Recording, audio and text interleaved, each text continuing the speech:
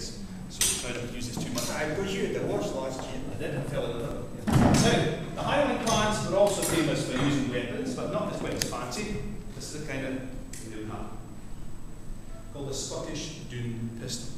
Hold this pistol, young lady, tell me if it's heavy. Bit heavy, yeah. Now, the Scottish Doune pistol, as you can see, is made entirely of metal. It doesn't have a wooden handle. And this came about by pure accident. Blacksmith in the town of Doune used to collect old nails. And one day he melted the nails down, took his hand at building a pistol. When he finished it, he thought, it's quite heavy, no one will buy that. So he put it on the wall of his shop and forgot all about it. One day a wealthy clan chief was riding through the town of Doune. You play the part of the wealthy clan chief. His horse lost a shoe. So he brings the horse to the blacksmith, who's putting the shoe in the horse, and he noticed the pistol and took it from the display. Oh, it's quite a nice pistol. It's heavy. Never seen one like It's metal. He asked the blacksmith who made it. I say, sir, who made this pistol? I made that pistol, sir, yes. Would you sell it? Yes, I would sell it to you. Uh, you couldn't make maybe another five or six of them, could you? Sell it, could you? For the gentry of the clan. Now, because he got that order, he thought, hmm, there's a market in this. Being a very resourceful Scotsman, he started to produce these pistols. Within a few years, Highlanders were coming to Doune to buy them.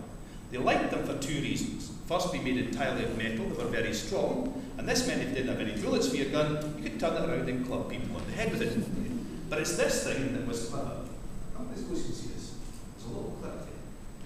And the clip was something that most other European pistol makers had not considered. It meant you could actually stick it into your belt like that. So if you're wandering around and you were suddenly attacked, you could pull the pistol from your belt and fire it at your attacker. If you missed him, you then throw the pistol at his head. It was avoiding the heavy gun gave you plenty of time to draw your sword. So that's your Scottish Doune pistol. Now, would any younger members of the audience by any chance know a very small knife used by the Highland clans? Would they know what it was called? What it was called? Was it? Remember? No? Everybody know? sgian-dubh. Well done, my man. sgian-dubh. And many people know the name of sgian-dubh, but they don't know what it means. In Gaelic, it means the black knife. It comes from the fact the handle was made from black bogwood. Traditionally, people make sgian-dubhs out of all sorts of things these days, but if it's not made of proper black bogwood, it isn't a proper sgian-dubh. Now, the Highlanders used to carry this in the breast pocket of their jacket, although most people put them in their sock these days. And this was used to eat your food with. If you went to another Highlander's house, there was no fork and knife for you, so you had to get this to cut your food. Well, let's imagine I turn up at this man's door. It's pouring a rain, and open his door. Oh, hello, Highlander, it's raining quite heavily. Can I come in and shelter in your house? No problem, but leave your weapons at the door. And that was the tradition. You had to leave your weapons at the front door. You would take your sgian-dubh and tuck it into your sock so you could see you had a knife with you. And that way, it would indicate you'd like to have something to eat. We've got a lovely piece of venison. Venison! Oh, could you smell it? It's Ah, fantastic. Love a piece of venison. No, very there's salmon for you, like. Oh, salmon for me. Right, okay. In the 18th century, salmon was known as a poor man's food. The wealthy people of Edinburgh wouldn't eat it. They called it peasant's food. But I'm afraid being a poor Highlander like me, that's all they get is the salmon. Now you might be enjoying a nice meal and someone comes into the room and starts to torment you. You don't have any weapons to defend yourself, so you have to raise your sgian-dubh for defence. I didn't like it.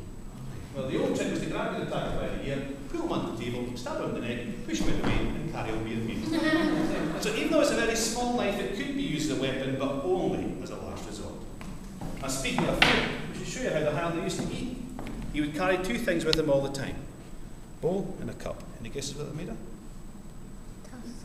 Tusks. Where are the elephants in Scotland? Yeah. I did ask to do the show a while ago, and one little girl did say it's an elephant's tusk, and I says, "Where do you see elephants in Scotland?" She goes, "Edinburgh Horn. Zoo." Absolutely right. horn. But it is in fact. What do you think it was? Horn. Yes. Horn. Yes, cow horns. Horn. Cow horn. Now the end of the cow horn been cut off because they don't waste anything in the Highlands. That curvy bit would be put into boiling water. Because when you put a cow horn into boiling water, it goes soft. You can flatten it down and you make a powder horn for keeping the gunpowder for your gun. The bowl, of course, is to eat your stable diet, which is oatmeal, which is carried in your sporran. You take the oatmeal out, mix it up, eat it for your dinner. So two things I held had with him all the time. But this is probably one of the most unique things the old Highland clans. What do we have on the feet? This is called brogan. Simple piece of leather stitched at the back. If you want to go from Banff here perhaps to Aberdeen, you might walk. The problem is when you arrive in Aberdeen, you've worn holes in your shoes. You can't afford to buy a new pair of shoes, so you go to the tanner and you buy a piece of leather. You take the lace out the back, you put that pattern onto the leather, cut out the shape and punch the holes. You made yourself a pair of shoes. But after the Battle of Culloden, many Highlanders were forced to leave their homes. They had to move to places like America and Canada.